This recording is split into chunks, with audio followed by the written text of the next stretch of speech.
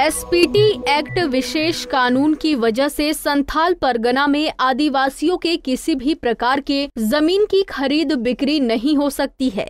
यहाँ तक कि लीज के मामले में भी स्वामित्व परिवर्तन पर रोक लगी हुई है। इस रोक को हटाने के लिए सरकार ने पहले ज़मीन अधिग्रहण समेत कई प्रयास किए, लेकिन विपक्ष के विरोध की वजह से पिट गए। अब सरकार सिर्फ़ गैर जनजातीय लोगों की ज़मीन की खरीद बिक्री के लिए प्रयास कर रही है।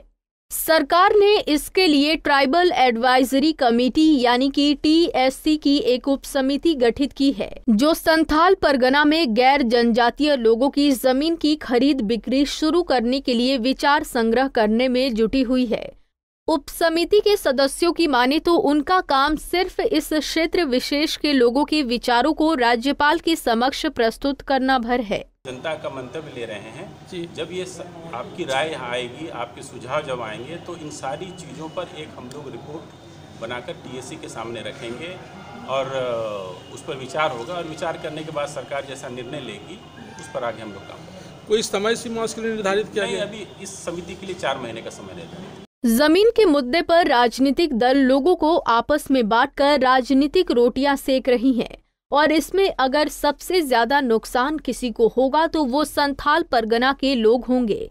बेहतर तो ये होगा कि लोग उप समिति के माध्यम से ज़मीन की खरीद बिक्री से जुड़े मुद्दों पर अपने विचारों को सीधे राज्यपाल के पास विचार के लिए भेज दे।